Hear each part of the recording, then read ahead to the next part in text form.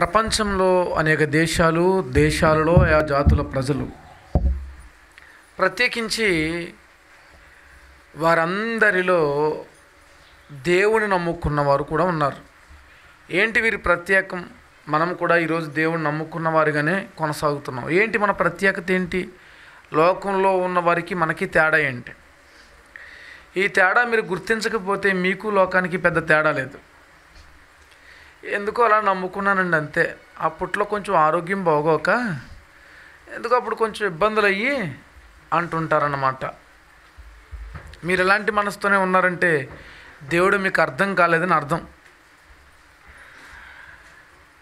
దేవుడు నమ్ముకున్న తర్వాత మనం ఒక ప్రత్యేకమైన జనాంగము దేవుని స్వకీయ జనులము అని దేవుడు చెప్తున్నారు.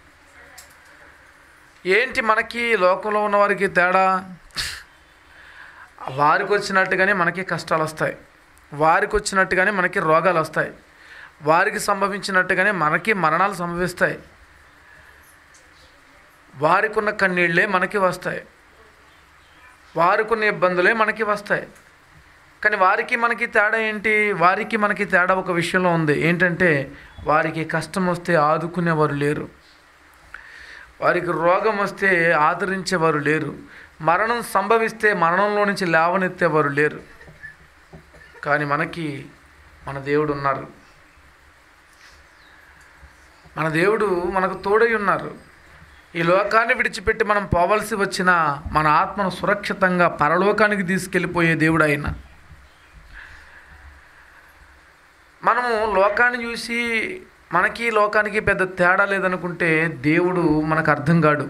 ఒకనాడు ఇస్రాయేల్ ప్రజలందరూ సమూయల్ అనే ప్రవక్త దగ్గరకు వచ్చి లోక మర్యాద చొప్పున మాకు రాజు కావాలని అడుగుతారు.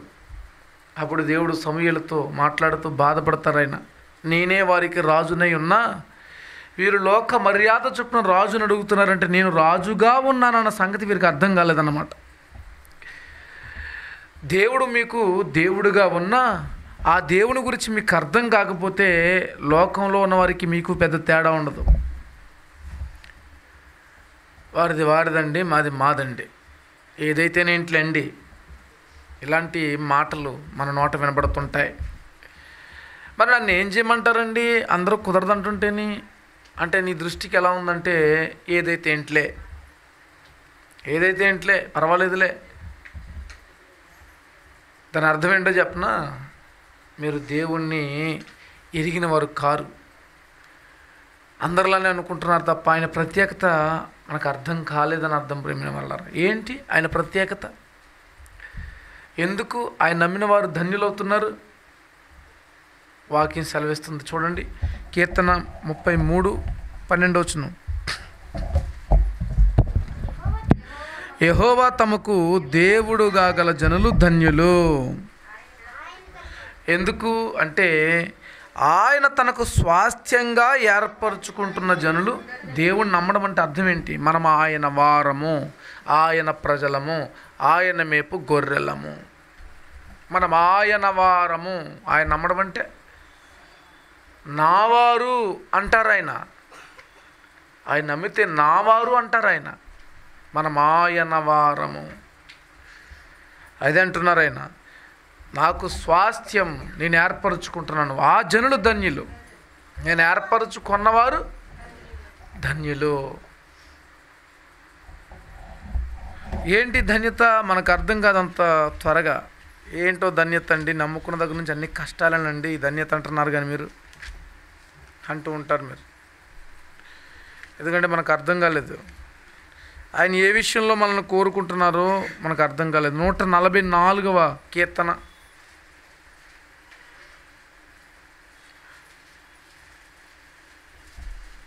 నూట నలభై నాలుగో కీర్తన.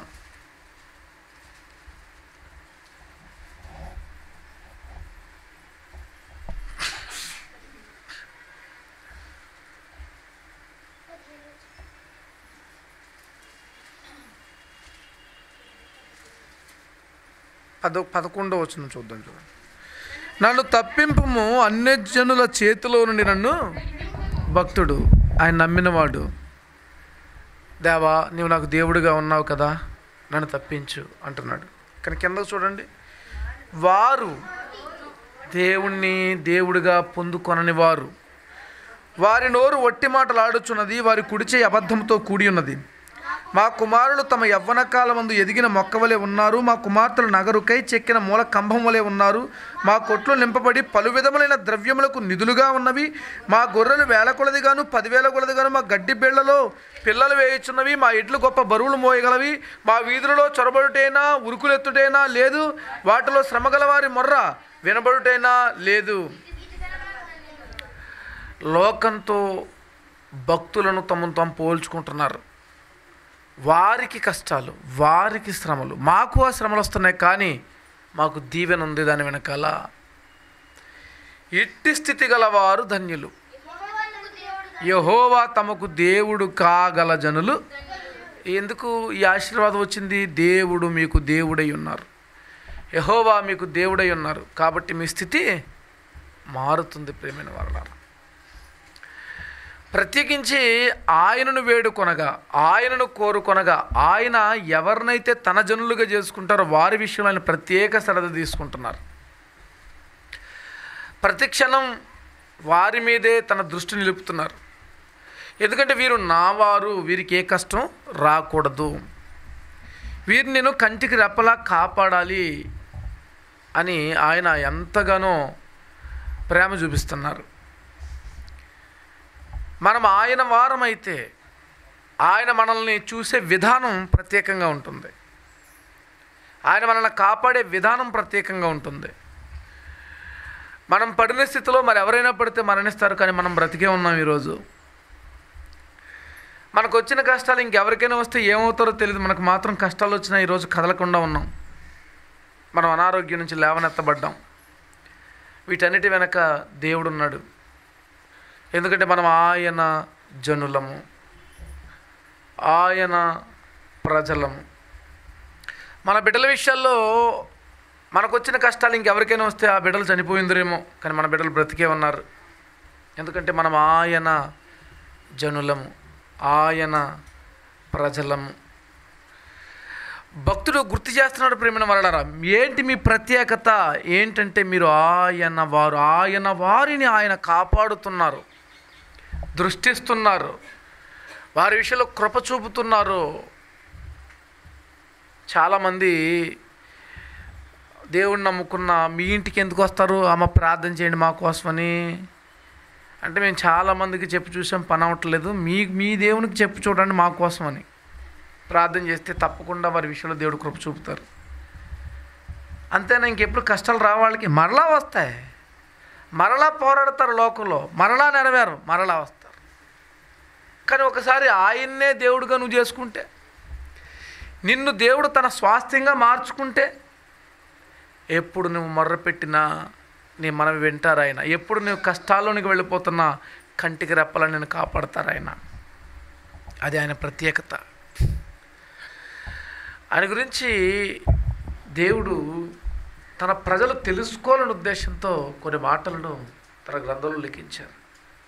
అవి చూస్తే ఆశ్చర్యం అవుతుంది ప్రేమిన వల్ల ద్వితీయోపదేశకాండం.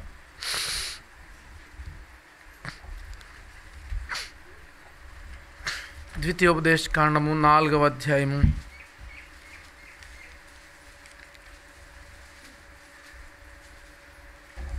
ద్వితీయోపదేశ కాండం నాలుగవ అధ్యాయము.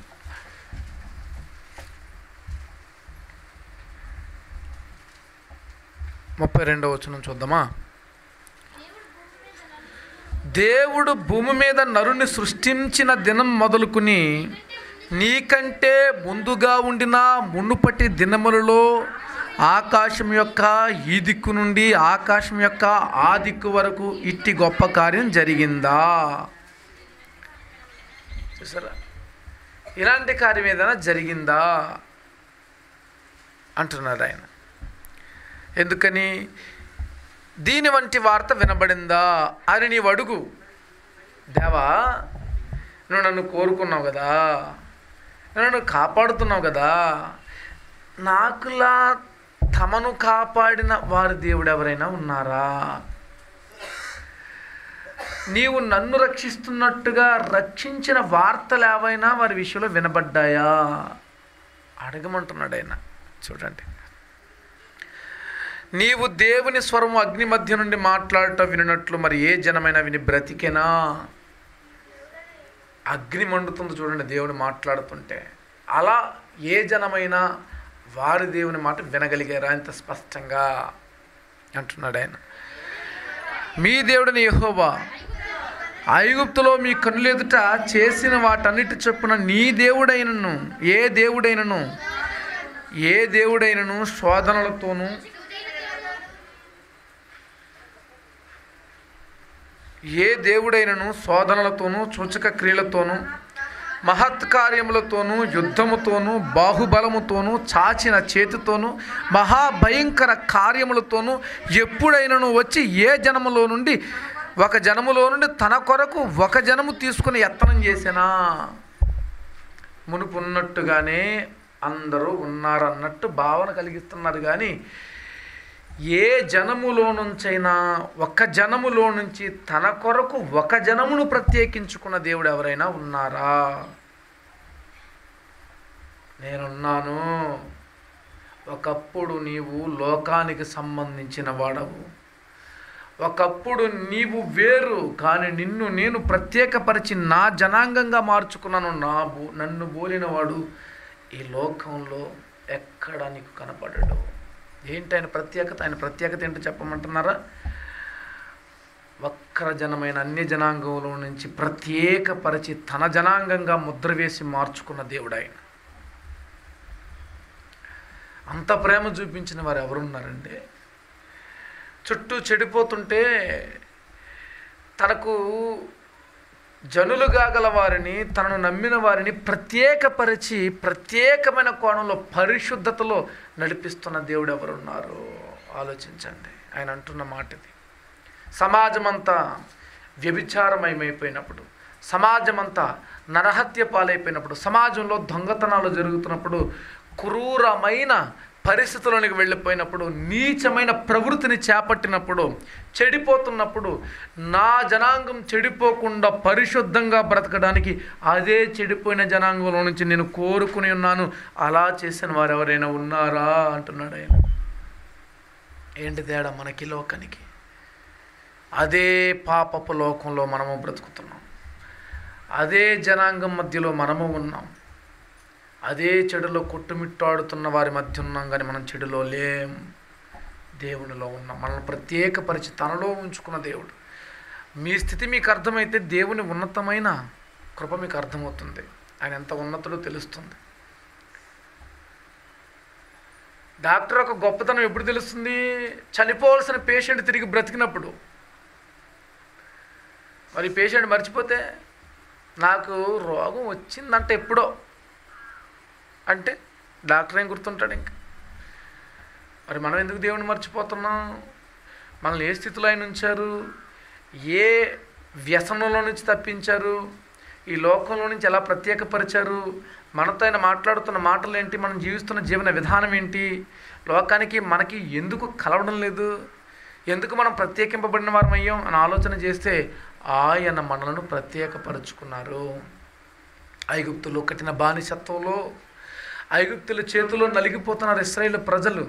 ఆ ఇస్రాయేల్ ప్రజలకు తనకు ఒక రక్షకుని నియమించి ఆయన ద్వారా వారిని తన చెంతకు తీసుకున్న దేవుడు ఆయన కష్టాల్లో కన్నీళ్ళలో బాధల్లో ఇరుకుల్లో ఇబ్బందుల్లో ఏ స్థితిలో మీరున్నా మీ దేవుడు మిమ్మల్ని విడిచిపెట్టే దేవుడు కాదు ఆయన ప్రత్యేకమైన వాడు. అందుకే ఆయన తనకు స్వాస్థ్యంగా ఏర్పరచుకున్న జనులు ధన్యులు. యహోవాను దేవుడుగా కలిగిన జనులు ధన్యులు. ఆయన కలిగి ఉన్నందుకు మనం ధన్యులు. మనల్ని స్వాస్థ్యంగా ఏర్పరచుకున్నందుకు మనమే మనల ధన్యులు. ఆయన ఏర్పరచుకున్నాడు కనుక ఆ ధన్యత మన జీవితంలో మనకు అర్థమవుతుందా? ఆయన అది చెప్తున్నారు ప్రేమిన వల్ల చూడండి వాక్యాన్ని ఏ జ ఏ దేవుడైనా జనాన్ని తీసుకుని యత్నం చేశాడా? అయితే యహోవా దేవుడనియు. ఆయన తప్ప మరి ఒకడు లేడనియు. నీవు తెలుసుకున్నట్లు అది నీకు చూపబడింది. నువ్వు తెలుసుకోవాలి అది.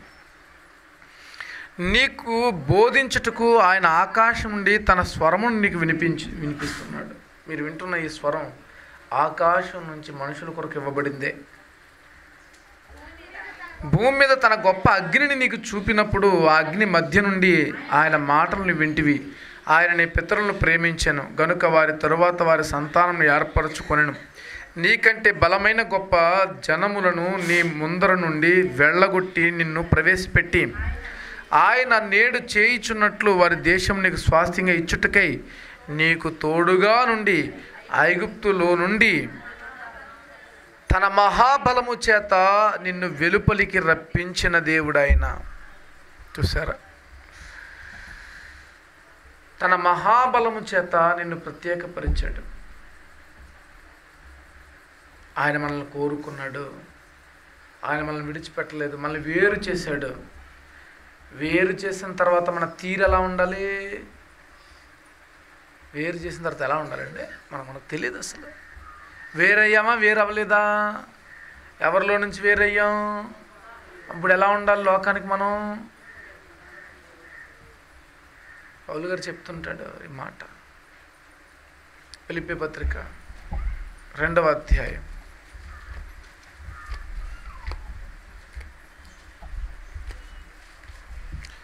అపోస్తుడైన పౌలు గారు పిలిపిలకు రాసిన పత్రిక రెండవ అధ్యాయము. పద్నాలుగు వచ్చు మీరు మూర్ఖమైన వక్రజనం మధ్య నిరపరాధులు నిష్కలంకులు అనింద్యులైన దేవుని కుమారులగునట్లు సనుగులు సంశయలు మాని సమస్త కార్యమును చేయడి అట్టి జనము మధ్యను మీరు ఏం పట్టుకున్నారు? అట్టి జనంతో కలిసిపోయారా? అట్టి జనం మధ్య జీవవాక్యాన్ని పట్టుకున్నారా? మీరు చెప్పండి. మీరు. మీరండి. అట్టి జనము మధ్య జీవవాక్యాన్ని జాత పట్టుకున్నారా అట్టి జనంతో కలిసిపోతున్నారా? సమాధానాలు లేవు మన దగ్గర. ఎందుకు దేవుడు మనల్ని విడిచిపెడుతున్నారో తెలుసా మీకు? వేరు చేసింది మనము ప్రత్యేకింపబడి చీకటిలో ఉన్న వారికి వెలుగును చూపే దివ్యలుగా ఉండాలని. మనం ఏం చేస్తుంటాం? దీపంగా ఉండాల్సిన మనము వారిలో కలిసిపోవడానికి చూస్తుంటాం అంటే నమ్మను కానీ అలా కాదు మరి అంత కాదు అని మనమే చెప్పుకుంటూ ఉంటాం. నువ్వు నమ్మినప్పుడు నీ నమ్మకం ఏంటో నీ యథార్థత ఏంటో నీ రోషం ఏంటో నీ ప్రత్యేకత ఏంటో మిగతా వారికి అర్థం కావాలి. నీ రక్త సంబంధులకు అర్థం కావాలి నీ బంధువులకు అర్థం కావాలి. ఇది ప్రత్యేకత. అది నచ్చుతుంది వాళ్ళకి అది నచ్చుతుంది. పైకి ఏమంటారు తెలుసా? నువ్వు వేరైపోయావు. నువ్వు వేరైపోయావు అంటారు. లోపల ఎలా ఉంటుందో తెలుసా? నిజంగా మనం కూడా వేరైపోతే బాగుంటుందేమో. వాళ్ళ దేవుడు వారికి తోడుగా ఉన్నారు. ఈరోజు ఎందుకు మనం చూసి ఎవరు మార్పు చెందట్లేదంటే దేవుడు మన జీవితాల్లో కార్యాలు చేసే విధంగా మనం ప్రత్యేకంగా లేము. ఏదో ఒక విషయంలో మరలా వా- వారితో పోల్చుకుంటూ ఉంటాం వారి సహాయాన్ని అర్థిస్తుంటాం. నేను నీకున్నాను. నరుల సహాయం వ్యర్థం రాజుల సహాయం వ్యర్థం. నేను నీకున్నా నా కొరకు నువ్వు నిలబడి చూడు. నిన్ను కాదని అన్నవారు ముక్కుని వేలేసుకున్నట్టుగా నీ జీవితాన్ని వృద్ధి చేస్తానంటున్నాడు ఆయన. ఏమి గోచిపెట్టక్కర్లేదు ఎవరికి. అన్ని జనాంగం మధ్యకి వెళ్ళి మీరు లేకపోతే నేను లేనని అనక్కర్లేదు ఎప్పుడు కూడా. ఒక ప్రత్యేకమైన హోదాలో ఉంచుతాడు మనల్ని. తలగా చేస్తానన్నాడా? తోకగా చేస్తానన్నాడు ఆయన. మరి తోకలాగా మిదులుతున్నారు ఎందుకు మీరు? తలగా వాళ్ళనెట్టి తల అంటే ఎప్పుడు తలే. చేస్తానన్నది ఎవరు? దేవుడు మరి ఎందుకు అవ్వట్లేదు మనం అలాగా? ఎందుకు అవ్వట్లేదు? నమ్మిందేది? ఆయన ఎందు విశ్వాసం ఉంచిందేది? ప్రత్యేకింపబడ్డామని మీ హృదయం మీకు చెబుతుందా? మనస్సాక్షి మిమ్మల్ని గద్దిస్తుందా? లోకంతో కుంభక్కైపోతున్నాయి మన బ్రతుకులు. లోకంతో కుంభక్కైపోతున్నాయి ఈరోజు లోకంలో మాట్లాడిన మాటలే లోకంలో జరిగే కార్యాలే లోకంలో పోకడే మరలా మరలా దాని వెనకే నువ్వు పడితే నువ్వు ప్రత్యేకింపబడింది ఎక్కడా? దేవునికి నచ్చటం లేదు. అందుకే ఆయన ఏమన్నాడో తెలుసా? ఏమంటే ఐగుప్తు ఐగుప్తులో ఐగుప్తు మహా సామ్రాజ్యంలో ఇస్రాయేల్ ప్రజల బానిస బ్రతుకులు బానిస బ్రతుకులు మెతుకులేని బానిస బ్రతుకులు అవి కొరడాలతో కొట్టేవారు పని చేయకపోతే. ఏడిచేవారు గుంపులు గుంపులుగా కలిసి పగలు ఏడవడానికి చోటు లేక రాత్రులు కలిసి ఏడుస్తుండేవారు. ఎంతకాలం ఎంతకాలం మొరపెట్టారు ఆయనకి. ఆయన ఆ జనంలో నుంచి ప్రత్యేకపరిచి ఐగుప్తులకు చూపించాడు. నేను మనుషుల్ని ఏర్పరచుకుంటే నా మనుషుల జోలికి వస్తే ఎలా ఉంటుందో తెలుసా అని. ఐగుప్తులు ఏమైపోయారండి ఎంత ఎంత కృపగల దేవుడు. రివెంజ్ ఎలా తీర్చుకున్నాడో తెలుసా ఆయన? నీవు నేను కరెక్ట్గా ఉంటే ఆయన మన విషయంలో కార్యం చేసే దేవుడు.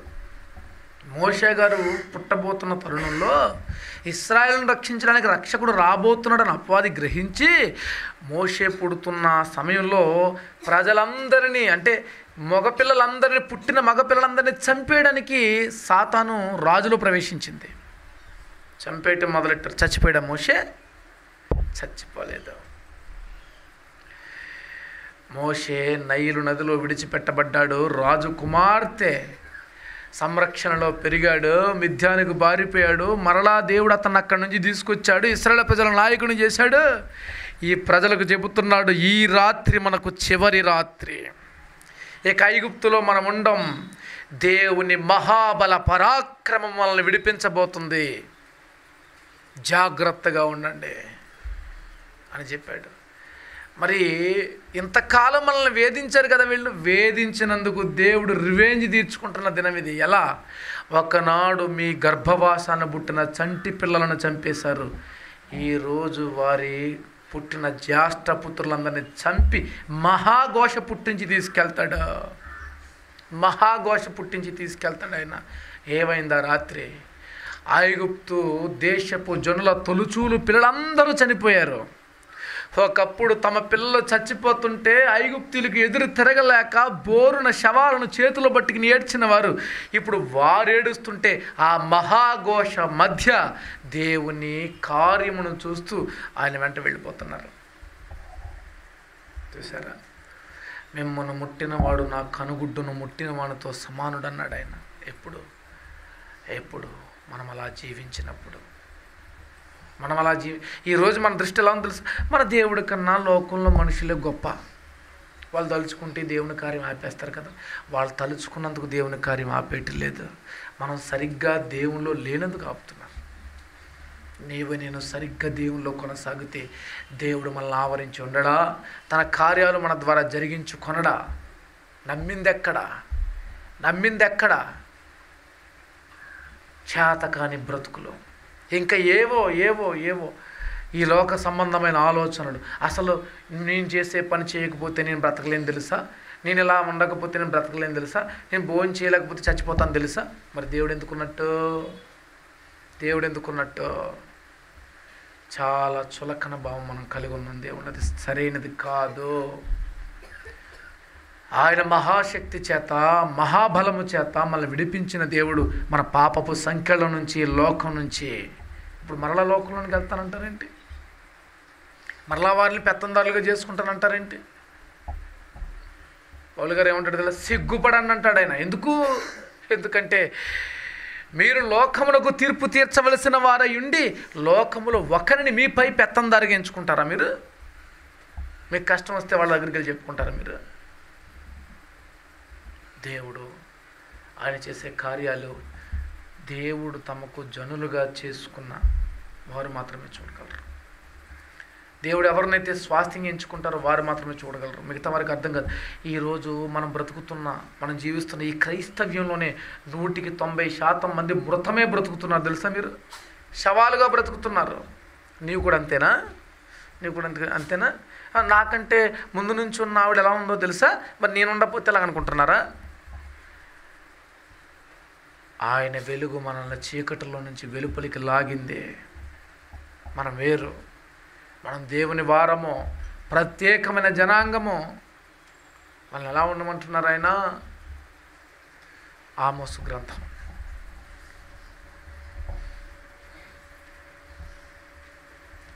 ఆమోసు గ్రంథము. ఐదవ అధ్యాయం. ఆమోసు గ్రంథము ఐదవ అధ్యాయం రండి. పద్నాలుగో వచ్చిన మీరు బ్రతుకున్నట్లు కీడు విడిచి మేలు వెదకడి. మీరు బ్రతుకున్నట్లు కీడు కీడు విడిచి మేలు బ్రతుకు మేలు వెదకుడి. అలాగూ చేసిన ఎడలా మీరు అనుకున్న చొప్పున దేవుడును సైన్యములకు అధిపతినకు యహోవా మీకు తోడుగా. ఎంత మంచి మాట. దేవుడు ఎప్పుడు మీకు తోడుగా ఉంటారు? కీడు విడిచి మేలు వెదకుడి. మనం ఏం విడిచిపెట్టడం లేదు. మరి ఆయన తోడై ఉంటాడా? ఉండని చెప్పేశాడు ఆయన. మనం ఎవరం?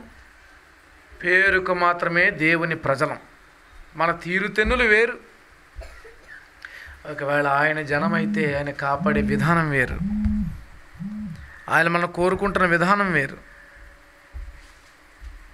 ఈరోజు అలా మనం ఎందుకు ఉండలేకపోతున్నాం? చెప్పండి. ఈ ఆమోసు గ్రంథపు ఈ మాటను బట్టి.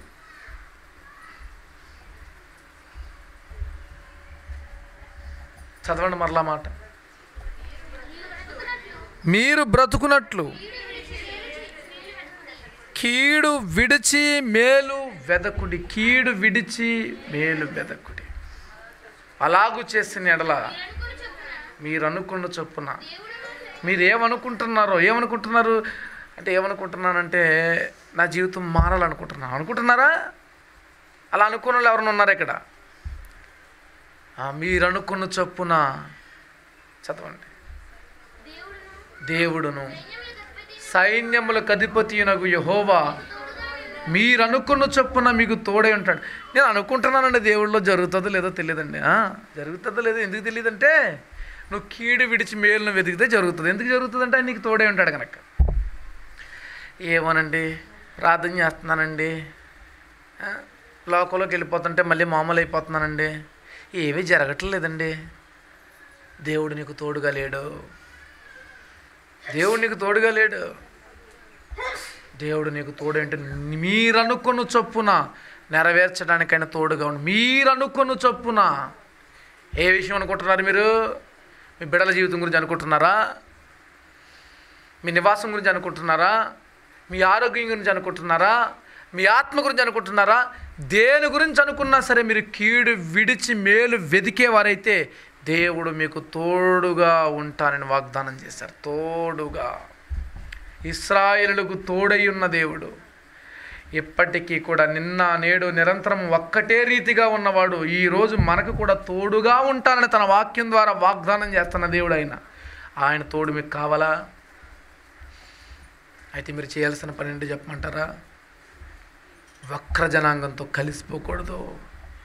ప్రత్యేకింపబడిన వారై ఉండాలి. మీ స్నేహం ఎవరితో? మీ సలహాలు ఎవరితో? మీ సంప్రదింపులు ఎవరితో? నేనున్నాన్న సంగతి మర్చిపోయారా అని అడుగుతాడు ఆయన. ఎందుకు నష్టం? ఎందుకు కష్టం? ఎందుకు కన్నీళ్ళు? ఎందుకు బాధ? ఎందుకు వ్యధ? ఎందుకు రోదన? ఎందుకు శోధన? ఎందుకు స్థిమితం లేని జీవితాలు? ఎందుకంటే దీని వెనకాల దేవుని తోడు మనకు లేదని అర్థం ప్రేమిన వాళ్ళరా. దేవుని సన్నిధికి వచ్చిన ఇంకా ఏదో అపనమ్మకం. నా జీవితంలో ఈ కార్యం జరగాలి జరుగుతుందో లేదో ఎందుకని ఎందుకు చెప్పమంటారా? మీరు కీడును విడిచిపెట్టడం లేదు. దేవునికి ఏది నచ్చదో దాన్ని విడిచిపెట్టాలి. దేవునికి ఏది నచ్చదో దాన్ని విడిచిపెట్టాలి. ఒకనాడు ఇస్రాయేలు మోషే గారి ఆధ్వర్యంలో ఆ ప్రయాణంలో తమకు ఎదురుగా వస్తున్న మొయాబీలను చంపాలి. కానీ మోయాబీలు ఒక ఎత్తేసారు బిలామును పిలిపించారు శపించడానికి చూశారు కానీ దేవుడు కృపగల దేవుడు ఇస్రాయేల్ను శపింపనివ్వలేదు బిలాము చేత. అప్పుడు మోయాబు ప్రజలు బిలాం ఇచ్చిన సలహాను బట్టి ఈ ప్రజలందరూ దేవుణ్ణి విడిచిపెట్టేటట్టుగా చేయండి అంతే మీరు చేయాల్సిన పని. మనం యుద్ధం చేయక్కర్లేదు.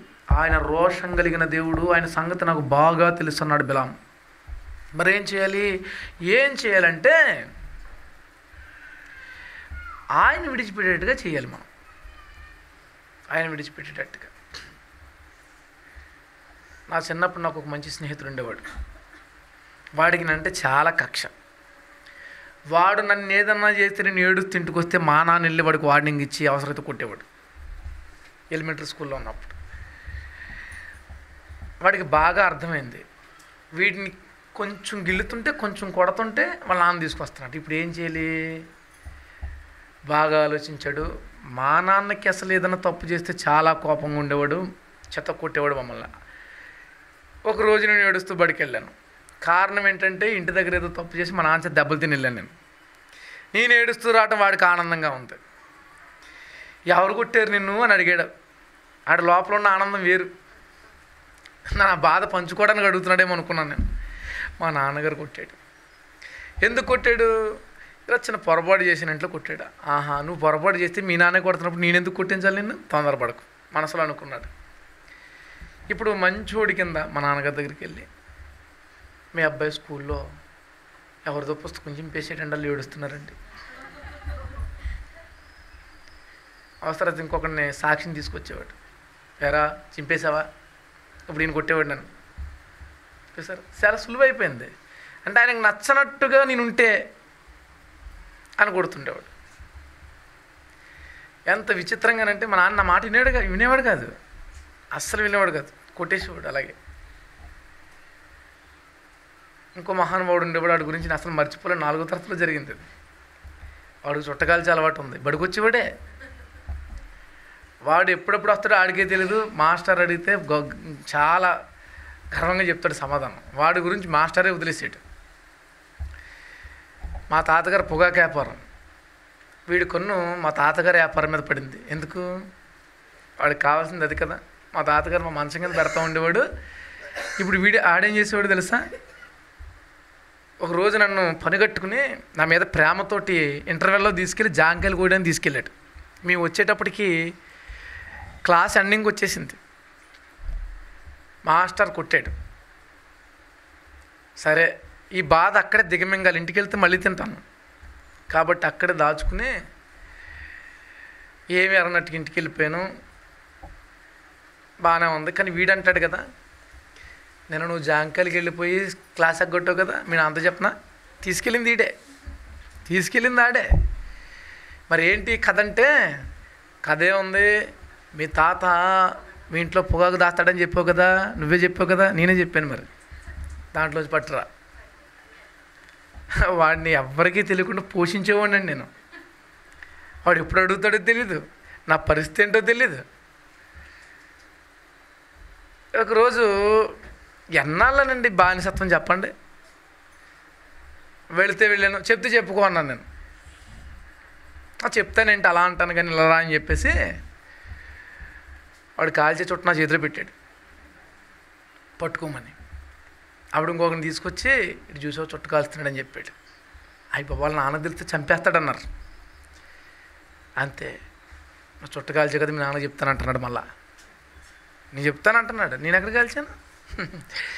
ఇప్పుడు మా నాన్నకి కాల్చాడా లేదా? ఎంక్వైరీ ఏం పని లేదు.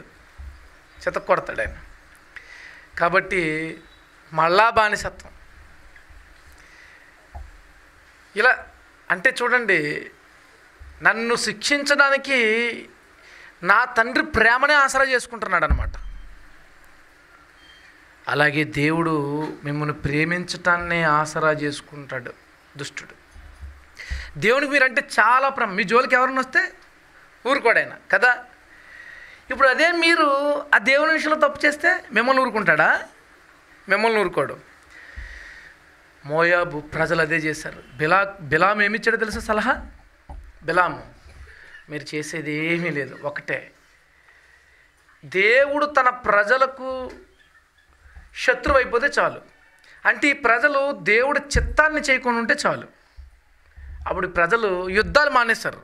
కత్తులు పక్కనెట్టేశారు. యుద్ధాలు లేవు. అంతా స్నేహం అన్నారు. వీళ్ళకి అర్థమే చావట్లేదు. ఏంటి యుద్ధానికి వచ్చినాడు మాతో స్నేహం చేస్తున్నాడు ఏంటి మరి లోకం మనతో స్నేహం చేస్తున్నా లేదు ఇప్పుడు? మనం లోకంతో స్నేహం చేస్తున్నాం లేదా? లోకాధికారి ఎవడు? ఎందుకు మనం కలుపుకుంటున్నాడు దాంట్లోనూ? మనం అంటే పడదు కదా అడికి పడద్దా పడదా? మరి ఎందుకు కలుపుకుంటున్నాడు? ఆ ఎల్లమ్మ గారిని పుల్లమ్మ గారిని మళ్ళీ మనతో ఎందుకు కలుపుతున్నాడు? ఏదో ఉంది మనకు తెలియదు ఈ విషయం. ఇప్పుడు తెలీదు. ఇప్పుడు ఈ మోయాబు ప్రజలు ఇస్రాయల్ ప్రజల్ని యుద్ధానికి కాక విందుకు పిలిచారు. యుద్ధాలు గట్ర తర్వాత సంగతి అండి యుద్ధాలంటే చచ్చిపోతాం మనుషులు ఇప్పుడు అవసరం మనకవి. ముందు భోజనానికి రండి అని పిలిచి బలిచ్చిన ఆహార పదార్థాలను వడ్డించడం మొదలెట్టారు. వీళ్ళు ఏం చేశారంటే వాళ్ళు చెప్పినట్టుగా చేసి ఆ భోజనం తినేసి వాళ్ళతో పాపం చేసి ఏమేరన్నట్టు వచ్చేసారు ఇప్పుడు దేవునికి శత్రువులు మోయాబీలా ఇస్రాయిలీలా? ఏ ఎందుకని? మరి ఇప్పుడు దేవుని శత్రువులు మనమా లోకమా? ఎందుకని? దేవుని శత్రువుతో నువ్వు చేతులు కలిపితే నువ్వు దేవుని శత్రువు అయిపోతావు. కొంతమంది చాలా విచిత్రంగా ప్రవర్తిస్తుంటారు. మీకు దేవుని మనసు ఉంటే పట్టుకోవాలి జాగ్రత్తగా. మీకు ఎవరికి ఇంకొకరికి ఎవరికైనా గొడవ జరిగిందనుకోండి మధ్యలో మేము తగుదమమ్మా అని వచ్చి అటు స్నేహంగా ఉంటారు ఇటు స్నేహంగా ఉంటారు. ఆ వాళ్ళ మాటలు మీకు చెబుతారు మీ మాటలు వాళ్ళకి చెబుతారు. కదా? ఇప్పుడు మనం కూడా దేవుని శత్రువు అయిపోతాం. తెలుసా? ఉంటే ఏదో వైపు ఉండాలి. నేను అదే అంటాను ఎప్పుడు కూడా. ఇప్పుడు నేనంటే కృష్ణ వాడుతున్న ఉన్నప్పుడు నాతో ఉండి ఏం చేస్తాను? నన్ను పతనం చేయకపోతేనే నా జాగ్రత్తలోనే ఉండాలి. దేవునికి నచ్చవి ఇలాంటివి మోయాబీలు ఇస్రాయేల్కి శత్రువులు కానీ మోయాబీలతో ఇస్రాయేల్ స్నేహం చేస్తున్నారు. ఇస్రాయేలుల విషయంలో దేవుడు కోపగించారు. ఇస్రాయేల్ విషయంలో దేవుడు కోపగించారు. ఇస్రాయేల్లో ఇరవై నాలుగు వేల మందిని చంపేశారు. ఎవరు? మోయాబీలు కాదు. దేవుడే దేవుడే. ఆయన ప్రేమ అంత గొప్పది. ఆయనతో మనం యథార్థంగా కొనసాగితే ఆయన తోడుంటారు. శత్రువు మనల్ని ముట్టలేడు. శత్రువు మనల్ని ముట్టలేడు. యహోశివ గారు మోషే గారి తర్వాత నాయకత్వం వహించి ఈ ప్రజలందరితో మాట్లాడుతూ ఇక మరణిస్తాడనగా ప్రజలందరినీ పిలిచి చెబుతాడు. మీరు దేవుణ్ణి సేవించలేరు. ఎందుకని? ఆయన రోషం కలిగిన దేవుడు. యహోవా తమకు జనులు యహోవా తమకు దేవుడు కాగల జనులు ధన్యులే కానీ ఆయన దేవుడిగా మీరు విశ్వసించలేరు కొనసాగలేరు. చూడండి కావాలంటే కొంతమంది మధ్యలో వెళ్ళిపోతుంటారు. మధ్యలో వెళ్ళిపోతున్నారంటే అర్థం ఏంటి? దేవుడు నచ్చలేదు. మాకు ఈ సంఘంలో దేవుడు నచ్చలేదు. మరి ఆ సంఘంలో దేవుడు నచ్చాడు. ఎందుకంటే ఆ సంఘంలో ఇన్ని కఠినమైన చర్యలు ఉండవు. దేవుడు ఎక్కడ ఏ సంఘంలో తన కార్యం చేస్తారో ఏ సంఘంలో ఆయన ఉంటారో అక్కడ స్థిరత్వం లేని మనుషులు ఉండలేరు. వెళ్ళిపోతుంటారు. వాళ్ళకి శరీర సంబంధమైన ఏవో ఏవో ఆలోచనలు ఉన్నాయి. కాబట్టి సంఘంతో కలవలేరు ప్రియమైన వాళ్ళరా ఎడమొహం పెడమొహంగా. వాక్యం చెవిని పెట్టరు. దేవుని దగ్గరికి సరిగా రారు. మరి ఏం సాధిస్తున్నావు నీ బ్రతుకులంటే? ఏమో ఏంటో నమ్మాను. ఎందుకు నమ్మానో నాకే తెలియదు. ఆ స్థితిలోనికి వెళ్ళిపోతారు. యహోశివ గారు పిలుస్తున్నారు ప్రజలారా రండి నా యొద్దకు. దేవుణ్ణి మీకు దేవుడిగా కలిగి ఉన్నారా అయితే మీరు ధన్యులు ఎందుకంటే ఆయన మీకు తోడుగా ఉంటారు కష్టంలో మిమ్మల్ని కాపాడుతారు ఆయన. ఒకవేళ మీరు అలా ఉండక తప్పిపోయారా? ఆయన మీకు శత్రువు అవుతాడు. ఇప్పుడే నిర్ణయించుకోండి మీరు. విడిచిపెట్టేస్తే విడిచిపెట్టేయండి.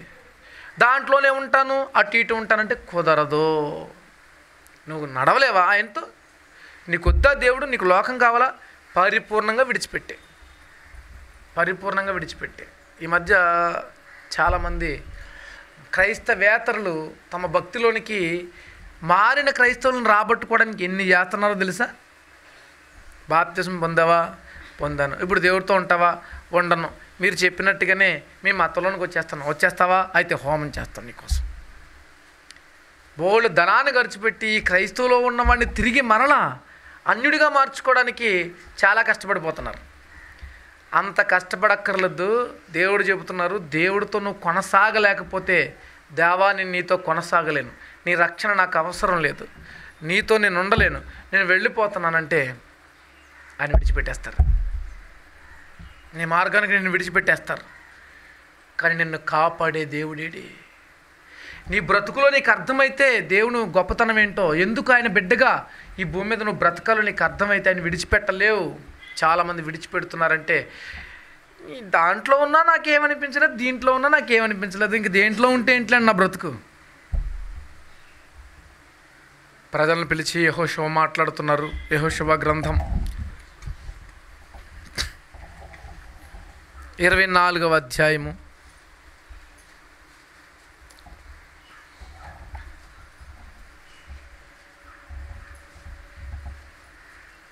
పద్నాలుగవ వచనం. కాబట్టి మీరు యహోవాయందు భయభక్తులు గలవారే ఆయన నిష్కపటముగాను సత్యముగాను సేవించుచు. మీ పితరులు నది అద్దరిన ఐగుప్తులో సేవించిన దేవతలను తొలగద్రోసి యహోవానే సేవించండి. ఆయన ఏమంటున్నారో తెలుసా? మీరు దేవుణ్ణి ఇష్టపడుతున్నారా అని అడిగాడు ఆయన. ఏమడిగాడండి? మీకు రెఫరెన్స్ దొరకలేదా? యహోశివ గ్రంథం ఇరవై నాలుగవ అధ్యాయము పద్నాలుగు వచ్చిన తీసుకున్నారా? తీసుకున్నారా? నా వైపు చూడండి. ఎందుకంటే ఎప్పుడు చూసినా బైబిల్ వైపే చూస్తున్నారు. ఆయన అంటున్న మాట ఏంటంటే మీరు దేవుణ్ణి సేవించేవారిగా ఉంటారా? దేవుణ్ణి ప్రేమిస్తున్నారా? దేవుడితోనే ఉంటారా? అని అడిగాడు ఆయన. మిమ్మల్ని అడిగితే మీరు ఏం చెప్తారు? చెప్పండి. నేను అడుగుతున్నాను మిమ్మల్ని ఇప్పుడు. నేను యహోషవా గారికి తగను కానీ ఈ సమయంలో అలా అనుకుని మీరు ఇస్రాయేల్ ప్రజలు గొప్పోళ్ళు అనుకుని నేను ముసలోడిని చచ్చిపోతానికి రెడీగా ఉన్నాను అనుకుని యహోషవా గారు కదా మరి? అడుగుతున్నాను. మీరు నిజంగా దేవుని సేవిస్తారా? నిజంగా ఆయనతో ఉంటారా? ఆయన మీ దేవునిగా కొలుస్తున్నారా? అయితే మీరు చేయాల్సిన పని ఏంటి అయితే మీరు చేయాల్సిన పని ఏంటి చూడండి అక్కడ చెప్తున్నాడు ఆయన. మళ్ళీ చదువుతాం. మీరు యహోవాయందు భయభక్తులు గలవారై ఆయన నిష్కపటముగాను. ఎలా ఉండాలట? కపటమైన భక్తి దేవునికి చలదు దేవునికి నచ్చదు. కపటము. కపటము దేవునికి నచ్చదు. నిష్కపటముగాను. సత్యము యథార్థముగా సేవించుచు. మరి ఇలా సేవిస్తూ ఉండాలంటే మీరు ఏం చేయాలట? మీ పితరులు నది అద్దరిని ఐగుప్తులో సేవించిన దేవతలను తొలగద్రోసి మీరు ఈయనతో ఉండాలంటే వాటితో ఉండలేరు నిర్ణయించుకుని అంటున్నాడు ఆయన మీరు వాటితో ఉండాలంటే ఈయనతో ఉండలేరు. ఈయన కావాలా? లోకం కావాలా? అంటే నేను సమయానికి వస్తానండి కానీ లోకంలో కూడా మరి మరి కలవాలి కదండి. నువ్వు దేవుని విషయంలో లోకంతో కలిసిపోవడానికి వీల్లేదు. నీకెవరిదైనా సహాయం చేస్తే నువ్వు వారికి సహాయం చేస్తే ఏదో లోకానుసారంగా ఏదన్నా మరణమైన కార్యక్రమమైనా నువ్వు దేవుళ్ళ నుంచి బయటికి వెళ్ళిపోకుండా వెళ్ళొచ్చు తప్పులేదు కానీ ప్రత్యేకించి దేవుని విషయంలో నువ్వు లోకంలోనికి వెళ్ళిపోవడానికి వీల్లేదు. అందుకని అంటున్నాడు నది అద్దరిని మీ పితరులు సేవించిన వాటిని మీరు తెచ్చుకోవద్దు. మీరు ఆయనతో ఉన్నోళ్ళైతే మీరు ఆయనతో ఉన్నోళ్ళు అయితే తెచ్చుకోవద్దు అంటున్నాడు ఆయన. దాన్ని విడిచిపెట్టాలి దాన్ని విడిచిపెట్టాలి. అప్పుడప్పుడు చూడండి మీ సెల్ ఫోన్లు స్విచ్ ఆఫ్ చేసి రెండు అంటాం ఇప్పుడు ఏం దేన్ని విడిచిపెట్టాలి? మీకు వాకింగ్ కావాలంటే విడిచిపెట్టాలి. అలాగే ఇప్పుడు చూడండి ఆయనతో ఆయన్నే సేవించి ఆయనలో కొనసాగాలంటే దేన్ని విడిచిపెట్టాలో చెప్తున్నాడు ఆయన. మీ హృదయమే మీ మీద సాక్ష్యం చెబుతుంది మీ జీవితాలు ఎలా ఉన్నాయో అంత యథార్థంగా కొనసాగుతున్నారా లేదా అనేది మీ మనస్సాక్షి మిమ్మల్ని గద్దిస్తుంది. చూడండి. యహోవాను సేవించడం మీ దృష్టికి కీడు అని తోస్తుంటే ఒకవేళ అవి కష్టమండి. ఇదివరకటి కంటే నా జీవితం ఇంకా నాశనానికి వెళ్ళిపోతుందండి. ఆయన కోపం ఎక్కువండి. చిన్న తప్పు చేస్తే కొడతాడండి. నిజమే మరి ఆయన కోపం ఎక్కువ కొడతాడు ఆయన. అలా నేను ఉండలేనండి. అంటే నీ కీడని తోస్తుందా దేవునిలో ఉండడం? అయితే నీ కీడని తోచిన ఎడల మీరు ఎవరిని సేవించెదరో? నది అద్దరిని. మీ పితరులు సేవించిన దేవతలను సేవించెదరు? అమోరియల దేశం నేను నివసించుచున్నారే వారి దేవతలను సేవించదరు. నేడు మీరు కోరుకునండి. మీరు ఎవరిని సేవింప కోరుకునను నేను నా ఇంటివారు యహోవానే. కష్టమైన నష్టమైన ఏదైనా సరే ఆయన సేవిస్తూ ఉంటున్నాడు ఆయన. పండు ముసలాయన. చనిపోతాడండి ఏ అధ్యాయంలోనే చివరికి వచ్చేటప్పటికి. చచ్చిపోతాడు. చనిపోయే ముందు ప్రజలందరినీ పిలుస్తున్నాడు రండి. మీరు దేవుణ్ణి కోరుకుంటున్నారా? ఇంక దేన్నైనా కోరుకుంటున్నారా? దేవుణ్ణి కోరుకునే విధమైతే ఇంక దేని జోలికి మీరు వెళ్ళొద్దు. దేన్నైనా కోరుకుంటున్నవారైతే దేవుని జోలికి రావద్దు. దేవుని జోలికి రావద్దు. చాలా చిత్రంగా ప్రవర్తిస్తున్నారు క్రైస్తవులు ఈరోజు. అన్నిట్లోనూ ఉంటారు దేవుళ్ళలోనూ ఉంటారు. ఏదో దేవునికి తామేదో సాయం చేస్తున్నట్టుగా. వీళ్ళని చూసిన వాళ్ళు దేవుళ్ళలోకి రారు. వీళ్ళని చూసిన వాళ్ళు. మీకు ఎంతమంది మనుషులు తెలుసు అంటే నాకంటే ఊళ్ళో అందరూ తెలుసు. నేను నా పేరు చెప్పండి చిన్న పిల్లోడు చెప్తాడు అంటుంటారు. ఎందరో బంధువులను కలిగి ఉన్నాం రక్త సంబంధులను కలిగి ఉన్నాం ఈరోజు మనం. ఏ ఇన్ని సంవత్సరాలు అవుతుంది? మన భక్తిని బట్టి ఎవరి హృదయం కూడా దేవుని వైపు తిప్పబడలేదే? అంటే మన భక్తి సరిగా లేదన్నమాట.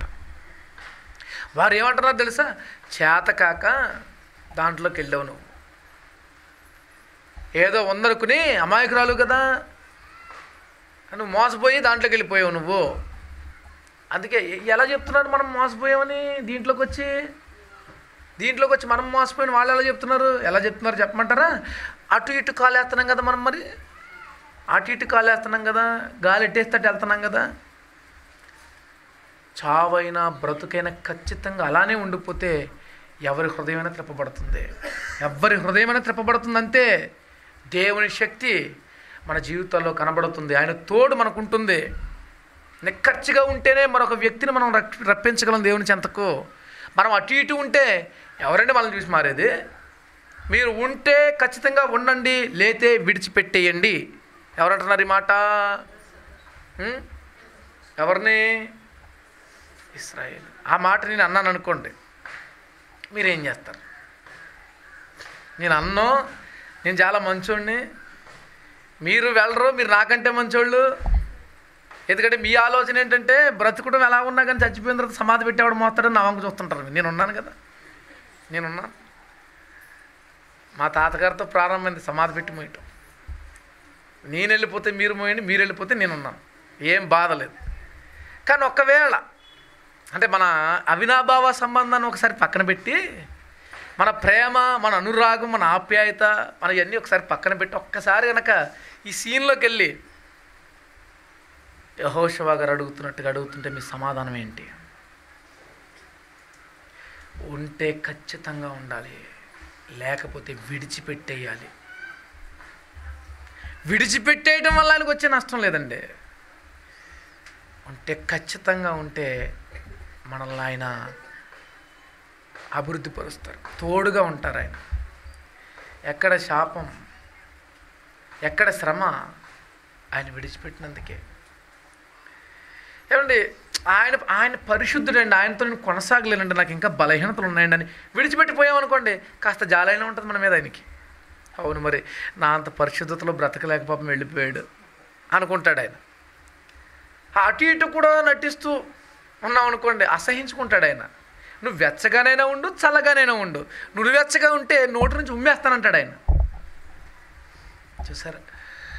ఈ పరిశుద్ధమైన మార్గంలో అడుగు వెనకబడ్డానికి వీల్లేదు. నాగటి మీద చేయి పెట్టి వెనక తట్టు చూచివాడు ఎవడు? నాకు పాత్రుడు కాడన్నాడు ఆయన. ఈయన ఇలా మాట్లాడుతున్నప్పుడు మీరు ఎవరిని కోరుకుంటారో కోరుకోండి. నేను నా ఇంటివారు యహోవానే సేవిస్తా అన్నాడు. అందుకు ప్రజలు అంటున్నారట యహోవాను విసర్జించి ఇతర దేవతలను సేవించిన మేము శాపగ్రస్తులం అయిపోతాం ఎందుకన్నారు ఆ మాట? ఎందుకన్నారండి మాట? భలే ఆఫర్ ఇచ్చారండి యహోషో గారు. మీరు చచ్చిపోయేదాకా మాకు ఈ అవకాశం రాదనుకున్నాం. బ్రతుకుండగానే మొత్తానికి మమ్మల్ని విడిచిపెట్టమన్నారు. మంచిది అనుకోలేదు వాళ్ళు? అనుకోలేదు. పొమ్మంటున్నాడండి ప్రజల్ని. మీరు ఉండలేరు. పొండి. దేవుళ్ళో సాగలేరు మీరు. అంటున్నాడు. అయినా సరే వాళ్ళు అంటున్నారు మేము వెళ్ళాం. మేము వెళ్ళాం. మిమ్మల్ని పొరపాటున వెళ్ళిపోండి అన్నాను అనుకోండి. ఎంత మాట అన్నాడు నన్ను? అంటామా? మరి హోషో గారు అంటున్నారు కదండి ప్రజల్ని. మీరు దేవుళ్ళో కొనసాగితే ఇలానే ఉండాలి. లేకపోతే మీరు ఉండలేరు. విడిచిపెట్టండి ఆయన్ని. అంటుంటే ఆ మాటకి బాధపడి వాళ్ళు అంటున్నారు యహోవాను విసర్జించి ఇతర దేవతలను సేవించిన మేము శాపగ్రస్తులం అవుతాం గాక. ఐగుప్తు దేశమును దాసుల గృహంలో నుండి మనలను మన తండ్రులను రప్పించి మన కన్నుల ఎదుట ఆ గొప్ప సూచక క్రియలను చేసి మనం నడిచిన మార్గములన్నిటిలోనూ మనం వెళ్ళిన ప్రజలందరి మధ్యను మనలను కాపాడిన యహోవాయే మన దేవుడు. ఏం చెప్తున్నారండి వాళ్ళు? వాళ్ళ జీవితాన్ని వెనక్కి తిరిగి ఆలోచిస్తే వారిని కాపాడిన దేవుడని వారికి గుర్తొచ్చింది. మరి మీ జీవితాన్ని వెనక్కి తిరిగి ఆలోచిస్తే ఏం గుర్తొస్తుంది మీకు? ఎన్ని కష్టాలు పడ్డానండి ఎన్ని శ్రమలు పడ్డానండి ఈ దేవుడిని నమ్మిన తర్వాత అండి ఎన్ని బాధలండి బాబు నాకు. ఇవే గుర్తొస్తుంటాయి మనకి. ఆయన మనల్ని ఎలా కాపాడు గుర్తురావు మనకి. చూడండి వాళ్ళు అంటున్నారు మాట ఎంత అద్భుతమైన మాట. ఐగుప్తు దేశమును దాసుల గృహములో నుండి బానిసలం మేము అప్పుడు మనలను మన తండ్రులను రప్పించి మన కన్నుల ఎదుట ఆ గొప్ప సూచక క్రియలను చేసి ఎన్ని కార్యాలు చేశాడు మన జీవితంలో. మనం నడిచిన మార్గములన్నిటిలోనూ మనం వెళ్ళిన ప్రజలందరి మధ్యను మనలను కాపాడిన యెహోవా మార్గములన్నిటిలోనూ ప్రజలందరి మధ్యను. నీ మార్గంలో నిన్ను కాపాడే దేవుడైనా ఏ ప్రజ మధ్య నీ ఉంటావో దేశంగా దేశం వెళ్ళి ఉంటావా ఆ దేశ ప్రజల మధ్య కూడా నిన్ను కాపాడే దేవుడు ఆయనే. ఆ ప్రజలకు అర్థమైంది. ఆయనే మన దేవుడు. వాళ్ళు అంటున్నారు ఆయనే మన దేవుడు. ఆయనను దేవునిగా కలిగి ఉన్న మనం ధన్యులం. మనలను ఆయన తన స్వాస్థ్యంగా చేసుకున్నారు కనుక మనం ధన్యులం అంటున్నారు ప్రజలు. యహోవా దేశంలో నివసించిన అమోరీలు మొదలైన ప్రజలందరూ మన ఎదుట నిలవకుండా వారిని తోలివేసిన వాడు మన శత్రువులను వెళ్ళగొట్టిన వాడు ఆయనే. మనం రక్షించిన వాడు ఆయనే. యహోవానే సేవించదము. ఆయనే మా దేవుడు. చూసారా ఎలా ఎలా చెప్తున్నారు ప్రజలు? యహోషవ గారి కంటే గట్టిగా చెప్పారు వీళ్ళు. ఎందుకు? ఎలా చెప్పగలిగారు చెప్పండి మీరు? ఎలా చెప్పగలిగారు? జీవితాన్ని ఆలోచించుకున్నారు. ఐగుప్తులో బానిస బ్రతుకులు. ఆయన మనల్ని కాపాడాడు. అద్భుత కార్యాలు చేశాడు మన కోసం. మనల్ని రక్షించాడు ఆయన. నీవు నేను దేవుని ప్రజగా ఉండాలంటే దేవుని బిడ్డగా కొనసాగాలంటే ఆయన మన జీవితంలో ఏ కార్యం చేసి మనల్ని ఈరోజు కోరుకున్నాడో ఆలోచించండి. మరణంలోనికి వెళ్ళిపోవలసిన మనల్ని తన బిడ్డగా చేసుకోవడానికే ఆయనంటే ఎరగకపోయినప్పుడు మనల్ని తప్పించాడు ఆయన. దేవుళ్ళనికి వచ్చిన మనల్ని కంటికి రెప్పలా కాపాడుతూ ఆయన మనలను తన స్వాస్థ్యంగా చేసుకోవడానికే మనల్ని రక్షిస్తున్నాడు ఆయన. ఆయనకి మనకు ఒక అవినాభావ సంబంధం ఉంది. ఆయన దినమల్లా చేతులు చాచే దేవుడు ఆయన. ఆయనలో ఏ మార్పు లేదు. మనలో మార్పు వస్తే ఆయన పొందుకోలేము. ఆయన కలిగి ఉన్న జనులే ధన్యులు. ఆయన విడిచిపెట్టిన వారు అన్యులు. శ్రమల పాలవుతారు. యహోవాను విడిచి వేరొకని సేవించిన వారికి శ్రమలు విస్తరించిన వాక్యం సెలవిస్తుంది. శ్రమలు విస్తరిస్తాయి. దేవుని కలిగి ఉన్నారా కలిగి ఉంటారా మరణించే వరకు ఆయన విడిచిపెట్టిన వాళ్ళు చేతులు ఎత్తండి ఇప్పుడు. మీ అందరి కోసం ప్రార్థన చేస్తాను మరణించే వరకు విడిచిపెట్టను. విడిచిపెడతారా? తెంచండి. ఎందుకు విడిచిపెట్టరు? ఎందుకు విడిచిపెట్టరని అడుగుతున్నాను. విడిచిపెట్టండి అన్నా విడిచిపెట్టరా? ఏ ఎందుకు విడిచిపెట్టరు? ఏంది చెప్పండి కారణం ఏంటి? ఎందుకు విడిచిపెట్టరు? అమ్మా. ఈ నసిగారంటే విడిచిపెడతారు. వారి జీవితాలు చూడండి. ఆయనే మమ్మల్ని కాపాడినవాడు. బానిస బ్రతుకుల నుంచి విడిపించినవాడు. దేనికి బానిస? నువ్వు గతంలో దేనికో ఒకదానికి నువ్వు ఖచ్చితంగా బానిసమైపోయి ఉంటావు. అది ప్రేమకో అది లోకపు వ్యామోహానికో వ్యసనానికో నీలో ఉన్న చెడు తలంపులకో దేనికో ఒకదానికి బానిసం. నిన్ను విడిపించాడు ఐగుప్తది. ఐగుప్తు నుంచి నిన్ను విడిపించాడు ఆయన. అద్భుత కార్యాలని జీవితంలో చేశాడు. ఆశ్చర్య కార్యాలను చేశాడు. పగలు రాత్రి నిన్ను తన చేతుల్లో కాపాడినవాడు. కంటికి రెప్పల నీ మీద జాలి చూపి కరుణించి కాపాడిన దేవుడు ఆయన ఆయన ప్రేమ మనకు అర్థమవుతుందా? ఆయన ప్రేమ అర్థమైతే ఆయన విడిచిపెట్టం. అర్థం కాకపోతే మిమ్మల్ని ఈ పిల్లర్ కట్టేసినా సరే మీరు ఉండలేరు. ఏంటి లోపలికి వెళ్ళిపోతున్నావు? చర్చి వదిలేసి నేను ఆదివారం ఎందుకు రాలేదు? తాడు పట్టురాని కట్టేశాను అనుకోండి ఇక్కడ. మళ్ళీ వెళ్ళిపోతారు. ఆయన మీకు అర్థమవుతున్నాడా? ఆయన కాపాడిన విధానం మీకు గుర్తుందా? వాకి వింటున్న మీరు హృదయంలో తలంచుకుంటున్నారా? దేవుడు మమ్మల్ని ఎంతగా కాపాడాడు అని మీకు అర్థమవుతుందా? అర్థమైతే ఆయన విడిచిపెట్టలేరు. మరిచిపోతే ఆయన నుంచి తొలగిపోతారు. ఆయన కలిగి ఉన్న జనులు ధన్యులు. ఎందుకంటే ఆయన కాపాడే విధానం ఎలాగే ఉంటుంది మీరు చచ్చిపోయేంత వరకు కూడా. మీరు మరణించేంత వరకు కూడా ఆయన కాపాడే విధానం ఎలాగే ఉంటుంది చూడు నా అరచేతిలో నేను చెక్కుకున్నాను. ఒకని తల్లి వారిని విడిచిన ఆదరించకపోయినా నేను వారిని ఆదరిస్తానంటున్న దేవుడు. ముదిమి వచ్చే వరకు నిన్ను ఎత్తుకున్న దేవుడు ఆయన. ఎత్తుకున్న దేవుడు. చిన్న చిన్న సాక్ష్యాలు ఇస్తున్నాం కదా. దేవుడు నమ్ముకున్నప్పటి నుంచి అనారోగ్యం తగ్గిందండి. ఇప్పుడు బాగా ఆరోగ్యంగానే ఉంటున్నానండి. మన పడిపోయానండి. దేవుడు కాపాడాడండి. యాక్సిడెంట్ అయిందండి. ఆయన తప్పించాడండి. శ్రమలో నన్ను కాపాడి రక్షించిన దేవుడు అండి కృంగిపోయానండి లేవనెత్తాడండి. ఎన్నో చెప్తున్నాం కదా మంచిది అవన్నీ. అంతేనా? ఇంకా ఆయన నీ జీవితంలో ఏ గొప్ప కార్యం చేసి బ్రతికించాడు గుర్తు రావట్లేదా? మనిషికి మరుపు ఉంటుంది. ఆ మరుపు మనిషిని చంపేస్తుంది. తెలుసా మీకు? ఆ మరిచిపోవటమే మనిషిని చంపుతుంది. అవి గుర్తుంటే దేవుణ్ణి దేవుడిగా కలిగి ఉంటాం. అలా కలిగి ఉంటే ఆయన నిన్ను విడిచిపెట్టక కాపాడతాడు. ఆయన విడిచిపెట్టక కాపాడతాడు. మనం ఎక్కడికైనా ఏదైనా పని చేయించుకునేటప్పుడు ఈ సెడ్ వేయించాం. ఈ సెడ్ వేయించేటప్పుడు మాకున్న డౌట్ ఏంటి? సీనియర్కి ఇవ్వాలి. లేకపోతే సరిగా చేయరు అని. దేవుని కృపలో దేవుడు నమ్ముకున్న వ్యక్తి దొరికాడు మాకు. సీనియర్. ఆయన పని చేస్తున్నప్పుడు అర్థమైపోయింది మాకు. అంత టక టక టక టక చేస్తున్నాడు. అప్పుడు మాకు ఏమైనా బాధ ఉంటుందా? బాధే ఉండదు. అదే ఈ కొలత ఎక్కడ కట్ చేయాలంటారు మనల్ని అడుగుతున్నాడు అనుకోండి. మనం ఏమైపోతాం చెప్పండి. మరి నీ దేవుని సీనియారిటీ నీ బ్రతుకులో కనపడాలి? కనపడుతుందా?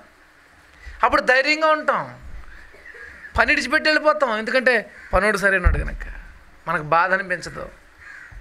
ఒక పని విషయంలో ఎంత జాగ్రత్త తీసుకుంటున్నావు? నీ బ్రతుకు విషయంలో ఎంత జాగ్రత్త తీసుకుంటున్నావు? నీ బ్రతుకు విషయంలో. పర్వాలేదండి. ఆ డాక్టర్ అంటే చెయ్యేస్తే చాలండి. తగ్గిపోద్దండి. ఒక నమ్మకం వచ్చేసింది మనకు డాక్టర్ మీద. మరి దేవుడి మీద? ఆయన నా తోడుంటే చాలండి.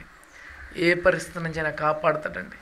నేను యహోవాను దేవుడుగా కలిగి ఉండాలి. అది ధన్యత. దేవుడు నన్ను తన స్వాస్థ్యంగా చేసుకోవాలి. అది నాకు ధన్యత. అంటే దేవుని నువ్వు కలిగుండగా నీ బ్రతుకానికి నచ్చితే ఆయన జనంగా నేను చేసుకుంటాడు ఆయన స్వాస్థ్యంగా చేసుకుంటాడు. చేసుకునేంత వరకు కూడా నీ నమ్మకత్వం కనపరచాలి. మరణించేంత వరకు కూడా నేను విడిచిపెట్టడానికి వీల్లేదు. కష్టాలు ఎందుకు వస్తాయి? అపవాది ఎందుకు దాడి చేస్తాడు? ఆయనకి దూరమైనప్పుడే. చేరువైనప్పుడు వస్తాడా? పోలీస్ ఆయన మీ ఇంటి దగ్గర కాపలా ఉంటే దొంగోడు మీ ఇంటికి వస్తాడా? దేవుడు మీ దగ్గర ఉంటే అపవాది మీ జోలికి ఎందుకు వస్తాడండి? మీరు విడిచిపెడుతున్నారు. వాడు ఎలా వస్తాడట? తెల్లవారుజాము వాక్యం ఎంతమంది అంటున్నారు మీరు చెప్పండి. అపవాది ఎలా వస్తాడట? అమ్మా? మర్చిపోలేదు చూసారా? బాగా గుర్తుండిపోయింది. ఎర చూసిన పక్షిరాజు గ్రద్ద ఎంత వేగంగా దిగుతాడు? క్షణాల్లో ఎత్తుకుపోతాడు తల్లికి కూడా తెలియదు పక్కనున్న కోడికి. పిల్లనాల పట్టుకుపోతాడు. పట్టిపోతాడు వచ్చి. అలాగే వాడు కూడా గ్యాప్ ఇచ్చారంటే దేవునితో. యేసుక్రీస్తు వారు అంటారు ఎరుషలేమా ఎరుషలేమా ఎన్నో మారులు నీ పిల్లలను నా రెక్కల కింద భద్రం చేయడానికి పిలుస్తున్నాను. కోడి తన రెక్కల కింద తన పిల్లలను ఎలా భద్రం చేసుకుంటుందో అలా నేను రక్షించాలనుకున్నాను కానీ మీరు రావడం లేదంటాడు ఆయన. యేసుక్రీస్తు అంతటి మహానుభావుడు పిలుస్తున్నాడు మనల్ని ఆదుకుంటాడు. ఆయన రెక్కల నుండి మనం తొలగిపోకూడదు. చివరికి ఒక మాట మలాకి గ్రంథం నాలుగవ అధ్యాయం. మలాకి గ్రంథం నాలుగవ అధ్యాయం నాలుగవ నాలుగవ అధ్యాయం రెండవ వచ్చిన అయితే నా నామందు భయభక్తులు గలవారకు మీకు. అంటే దేవుణ్ణి యహోవాను దేవునిగా కలిగిన మీకు నీతి సూర్యుడు ఉదయించును. అతని రెక్కలు ఆరోగ్యం కలగజేయను కనుక మీరు బయలుదేరి క్రొవ్విన దూడలు గంతులు వేయనట్లు. చూసారా? మనకు ఆరోగ్యం అక్కడే ఉంది. ఆయన సన్నిధిలో మనకు ఆరోగ్యం ఉంది. ఆయన సన్నిధిలో మనకు నెమ్మది ఉంది. ఆయన రెక్కల నీడన మనకు రక్షణ ఉంది. ఆయన విడిచిపెట్టద్దు. అడుగుతున్నాను. యహోవాను సేవిస్తారా? మీ దేవుణ్ణే సేవిస్తారా? మరణించేంత వరకు ఇంక దేనైనా కోరుకుంటున్నారా? సేవించాలంటే ఫస్ట్ కండిషన్ ఏంటి చెప్పండి? ఫస్ట్ కండిషన్ ఇక దేనికి అవకాశం ఇవ్వకూడదు మీ జీవితంలో? నేను దేవుని బిడ్డను. అంతే. నేను దేవుని బిడ్డను అన్నప్పుడే దేవుడు మీతో ఉంటారు. ఏ విషయంలోనైనా నువ్వు మరలా మరొకరిలా ప్రవర్తించడం మొదలుపెట్టావంటే దేవుడు అసహించుకుంటాడు. నీ కష్టాలు నీ కన్నీళ్ళు నీ వ్యాధులు బాధలు నీ శ్రమలు చివరికి నీ అప్పులు ఏవైనా కానివ్వండి ఏవైనా కానివ్వండి. నీ ఆత్మను రక్షించే దేవునికి అవన్నీ లెక్క. నువ్వు ఆయనతో యథార్థంగా కొనసాగు. ఆయనే ఆదుకుంటాడు. అట్టి కృపాభాగ్యం దేవుడు మనకు అందరికి అనుగ్రహించిన ప్రార్థన చేసుకుంటాం